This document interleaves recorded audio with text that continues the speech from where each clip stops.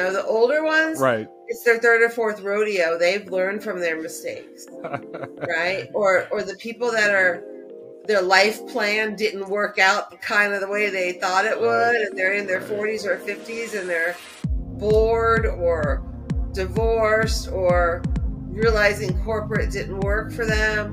Those people think just because they have a good idea, that makes them a good business person.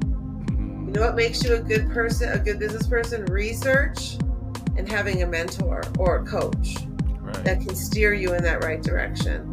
And if you can't afford a mentor or a coach, you shouldn't probably be in business. That's right. That's right. I love it. Now, another thing I do see trending also, Vicki, while I got you, I'm definitely going to pick your ear when it comes to business or the nonprofit startups. Um, I see and notice they're popping up everywhere.